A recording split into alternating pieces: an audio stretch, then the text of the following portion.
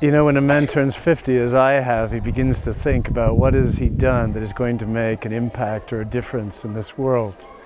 And what I've been involved in for the last three years is an amazing project. If it is the only thing I had done in my entire life, I think my life would be worth it.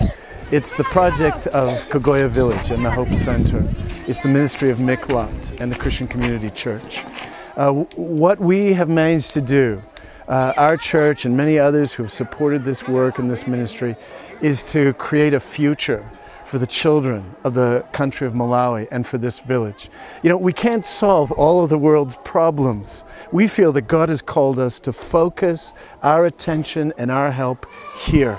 We can make a difference here. We began by sinking a well and providing clean water, hygienic water for this community.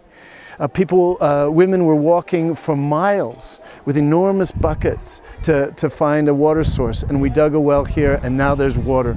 And then we built a facility called the Hope Center, and the center here is a place where children, preschool children, are taken care of during the day, and then school children in both primary and secondary education come here after school. And these are children, these are orphan children. They're missing one or both parents. And often they're at the very bottom of the food chain. Their prospects for a future and much of a life are very grim, and life is short. But now they have a good, solid meal every day, a good balanced diet throughout the week. They have an education here, there are teachers here.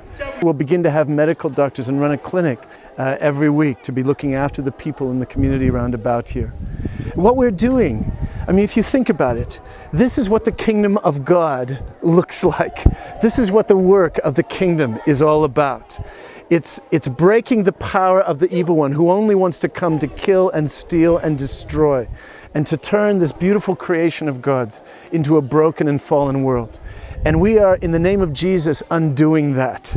And we're creating hope and life and a future.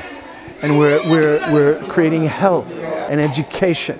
And we're teaching these children the truths of God and the truths about Jesus. And they will, God willing, grow up to be the future leaders of Malawi. And they'll be Christian leaders.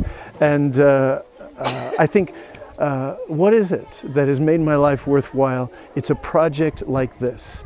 And I just invite everyone who is watching or listening to this to come and be a partner with us as we work with God to create the kingdom of God in a very specific, beautiful project. God bless you.